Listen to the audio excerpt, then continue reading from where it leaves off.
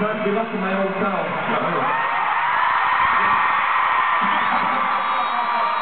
right, can, can, you tell these boys as well, right, because I keep telling them, not so much fun to be from Aldi, But Manchester's the greatest city in the world.